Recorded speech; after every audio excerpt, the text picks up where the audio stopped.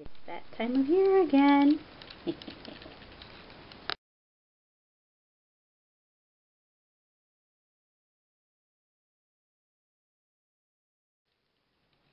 okay, um, at some point over the summer we had another uh, employee yard sale, so I'm not even sure I got these there. I think I might have gotten these at the dollar store or something.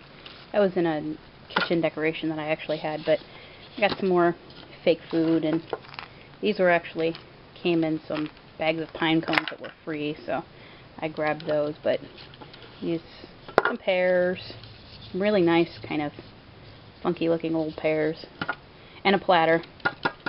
The platter is actually nice and heavy and ugly and marred up, which is really really nice.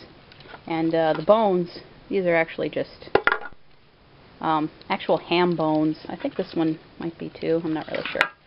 But um, those are all from from uh, employee yard sale over the summer. But I also got garden trellis. This was um, just got this today at uh, AC Moore. They had them piled up into Halloween stuff because they were a uh, late purchase, I guess. They had them all on special for like 11 bucks. Um, what I really liked about this is I picked it up and it was heavy. It's really, really heavy. It isn't, it isn't a lightweight aluminum one, which I'm really, really happy with. Um, they also had it uh, set up as a display um, at the Halloween decorations, and it was really big. Uh, so that was really, really nice. And so I went, ooh, yes, I've actually wanted one of those for Halloween, so I got one. Um, as another note is I got a bat cage uh, from my mother she had gotten a bunch of cages and stuff from yard sales and this was this one actually was nice and big and kind of already stained and beat up and I went ooh I like that. Can I have that? And I went on a bit of a shopping spree. Got a couple of bats. The bats actually really I actually like these bats over the old ones. Um, just the the big fluffy gray ones just aren't really all that realistic looking. These these look much better, especially since they don't have big old fangs. Their faces are actually much more realistic. Focus. Why are you not focusing? The faces are actually much more realistic. Oh, there we go. Um, other than the giant jewel eyes, but the faces are much, much, much, much, much better. And I added to my crows because everything was focus. Anyway, I um added my crows too. The crows this year are just kind of kind of terrible looking. A lot of them, I actually had to dig through the pile to find two that were actually completely covered in feathers.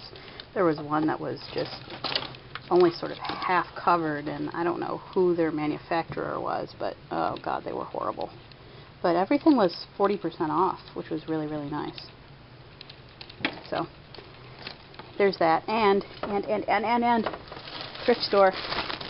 Thrift store had bags of cheesecloth. They had this huge pile of cheesecloth. And, uh, and this, and I got a couple of bags because I really wasn't sure how much was in these. It's yards. There's yards of cheesecloth in these. And so I got that too. But and I have a ton of ton more stuff to sort through and decide what I'm keeping and what I'm throwing out. And I've actually already gone through I've gotten rid of my old I got my sarcophagus and I'm gonna probably toss some of these cages that I never actually finished. But yeah oh well. The pile. And my doggy?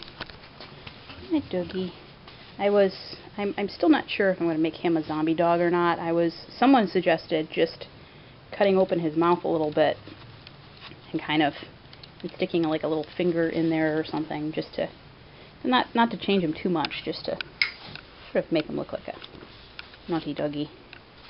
And I was like, oh, well, there's an idea.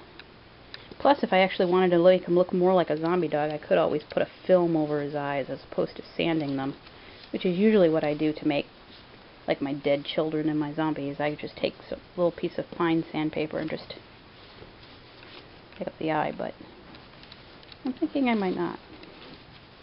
I think I might keep my doggy the way he is. Mm, my pile of stuff. With this, I bought this for a Halloween party, and my cauldron that I'm not really sure I'm going to keep. I might. It's just, eh, some, some more stuff. An organizer that I have yet to actually organize. So, the sorting continues.